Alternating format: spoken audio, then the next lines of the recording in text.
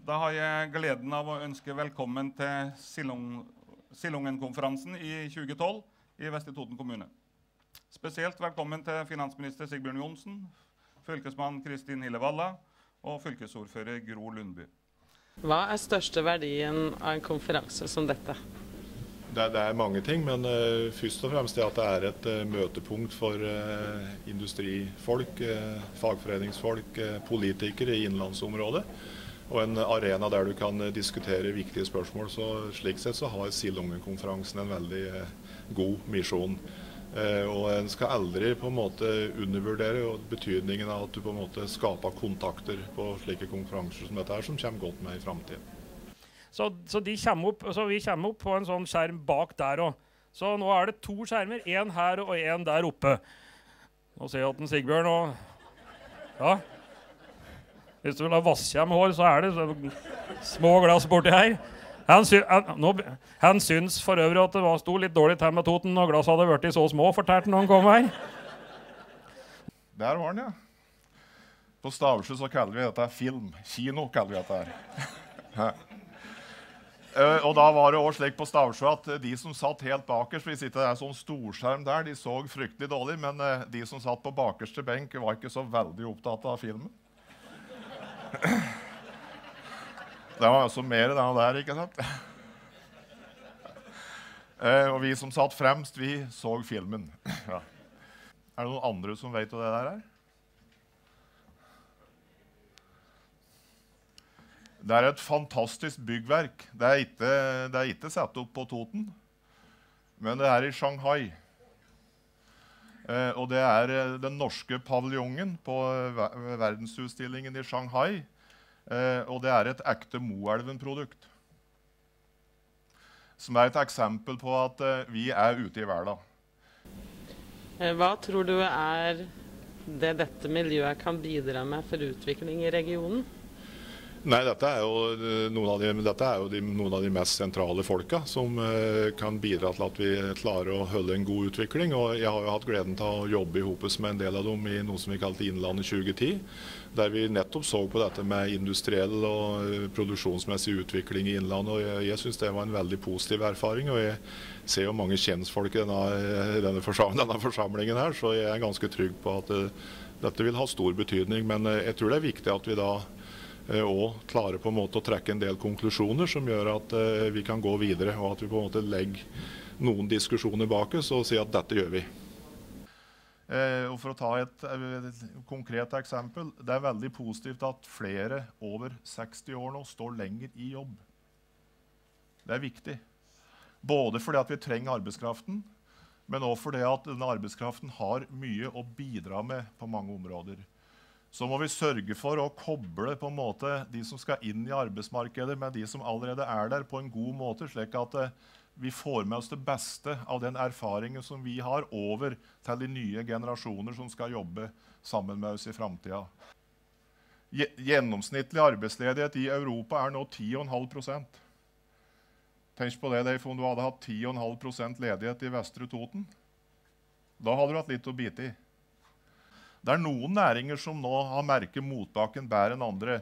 Men samtidig, hvis du ser på eksporten samlet, så, altså, så, har det ikke skjedd veldig mye. Altså, at eh, det, vi har ikke fått den smellen som eh, en kanskje kunne tro at vi eh, skulle fått når en ser på utviklingen i Europa. Og hovedgrunnen til det er jo at vi eksporterer til de land i Europa som gjør det relativt sett bra. Så hvis jeg skal gi dere ett råd i dag, så er det å sette dere ned og finne ut hvordan vi i fellesskap sørge for på en måte å gjøre oss attraktive for den framtidige gode arbeidskraften som vi vil trenge i bedriftene våre i Innenlands-Norge. Og det er både de som er, er både, Nå så jeg Forskningsrådet kom. altså Det er ingeniører ikke sant? Og, og det er alle disse her. Men det er òg produksjonsarbeideren. Eh, han Hans har eh, på Moelven bruker det som eksempel, har jo en fantastisk arbeidsstyrke. Men de er på min alder. Uh, de er ikke gamle, altså. Men, uh, men uh, De er nå pluss 60, og det betyr at da er det mest som sånn to til sju år igjen før de går av med pensjon. Og det, og, og det er bare tida og veien. Nå dreier det seg om å holde at, slik at de som er i eksportindustrien, ikke mister jobben. Det er på en måte den felles utfordringen vi alle nå står framfor. Og det betyr at eh, lønnsoppgjøret til våren eh, nå må innrettes slik at eh, det er tåleevnen i eksportindustrien som på en måte må sette eh, standarden for det lønnsoppgjøret. Eh, I Håvamål så er det et gammelt ordtak som sier at du skal ha sterk rygg for å bære velstand. Og i det ligger det at eh, velstand kan gjøre deg litt mett. Eh, velstand kan gjøre at du mister fokus. Og velstand kan gjøre at du kanskje ikke prioriterer helt riktig.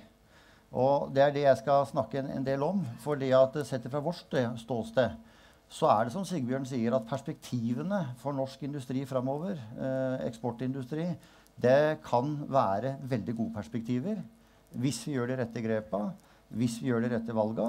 Men det kan også fort gå utover bakke dersom vi ikke har fokus på denne langsiktige evnen til å sikre konkurransedyktighet. Det som vi kanskje ikke snakker om, det er at den største koblinga mellom olje- og gassressursene våre og verdien av dem og Ola Kari Nordmann, det har vært lønnsutviklinga.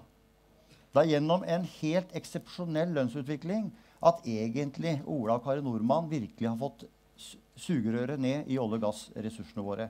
Derfor har vi en situasjon hvor vi altså i løpet av de ti siste åra har hatt en lønnsutvikling i Norge på 60% I samme periode har Tyskland hatt en lønnsutvikling på 7% Det jeg sier at Dette må vi få gjort noe med. Eh, vi kan ikke fortsette sånn, for da går det ikke bra uansett.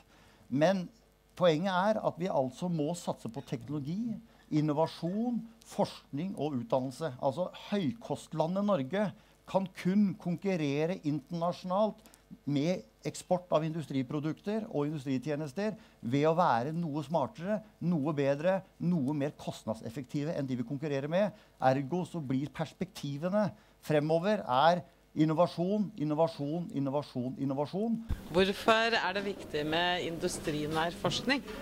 Det er fordi at vi er et høykostland, og skal vi kunne overleve som industrinasjon, så må vi ha en forskningsinnsats som ligger tett opp til de industribedriftene vi har, sånn at du får et samspill mellom de som hver dag driver industrien, og den forskninga som skal hjelpe dem videre i f.eks.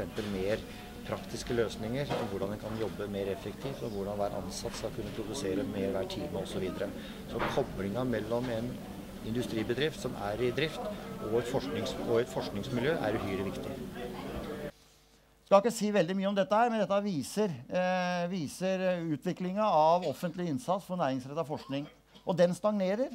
Nå har Sigbjørn gått, men dette hamrer vi på hver gang vi ser at hvis en skal ta hvileskjær, så tar det iallfall ikke på forskningsbudsjettet. Ta gjerne noen hvileskjær i offentlige budsjetter. Ikke hiv penger etter folk i hytt og pine. Og ikke vedta mer velferdsreform enn det en klarer å finansiere. Men ta for guds skyld ikke hvileskjæra på den sektoren som skal sikre velferden fremover.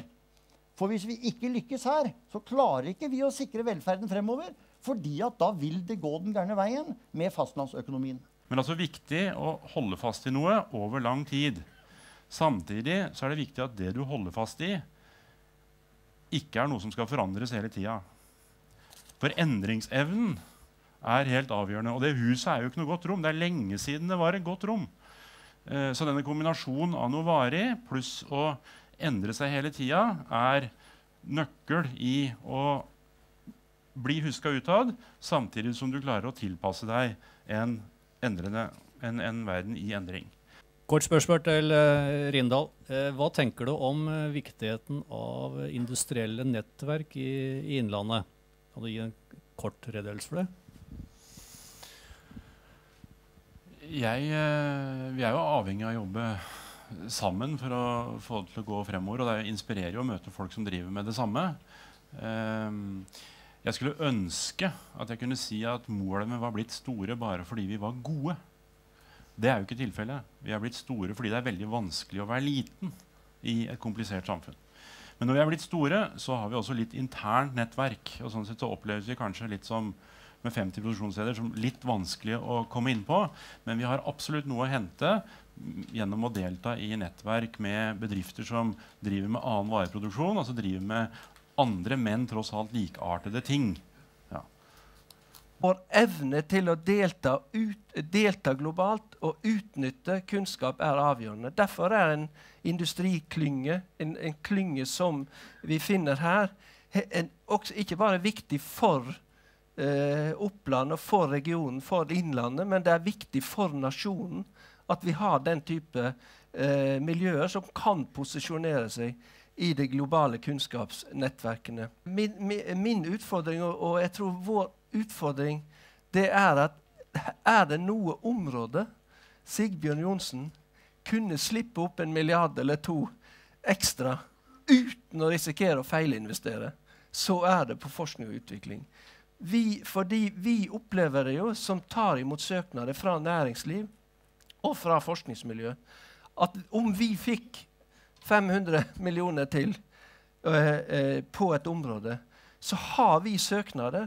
Vi har interesse, vi har ideer fra næringslivet, vi har ideer fra forskningsmiljøene, vi har ideer fra eh, forskningsinstituttene som gjør at vi kan fange opp og bruke disse kronene eh, veldig godt. Da vil jeg takke deg for at du var med oss i år. Og for å, Hvis jeg nå skal prøve å være, sette personlig rekord og være anstrengt morsom, så vil jeg si at nå er det halv én som får en hel en. Vær så god. Og hvis vi sammenligner oss med andre OECD-land, så er det relativt få sånne klynger av sterke bedrifter i Norge. Og om det har betydning for regionen? Det har det vel, utover det at en fylkesordfører er stolt, da, naturligvis. Så er det klart at NCE-statusen til Raufoss den har bidratt til mye positiv oppmerksomhet. Eh, det har også løfta de andre bedriftene i regionen fram. Det å ha en slik industrimotor i fylket det er avgjørende for helhetlig samfunnsutvikling. Og Oppland fylkeskommune er både stolt av eh, hva som er skapt, og vi er glad for at vi også har kunnet bidratt med noen virkemidler i de ulike fasene. Så vår, vår syssel, vårt sysselsettingsnivå da, sammenlignet med og Jeg har tatt uh, eurolandene bare fordi det er et svært område å sammenligne med. Ikke for å drive eurohets. Uh, men så betyr det en forskjell altså på 350 000 jobber. Så hadde vi hatt samme lave i sysselsettingsnivå som eurolandene i snitt, så hadde vi hatt 350 000 færre, færre jobber.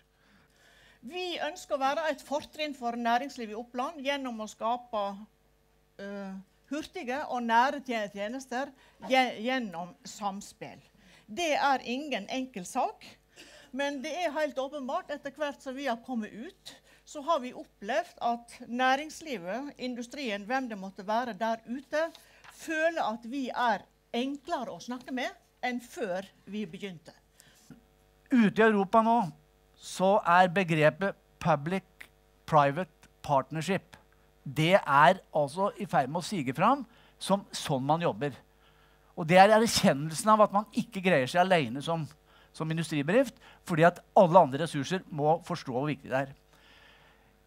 For det, det NC Raufoss har gjort forskjellig fra de andre klyngene, og som vi kanskje nå vurderer som, som relativt smart da. Som, som veldig smart. Det er at man har valgt å bygge opp et felles forskningsselskap i klynga. Én ting er at det er da i klynga, men det har også et nettverk til SINTEF, til NTNU, til høyskolen til Chalmers, til Stuttgart, til München.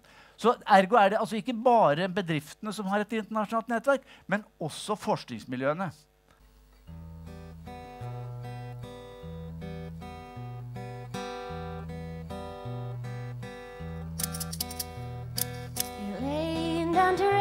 You think the best is to request another pillow. But Still, you cannot sleep, your breath is deep, and you can keep away from watching the weeping willows making shadows on the wall.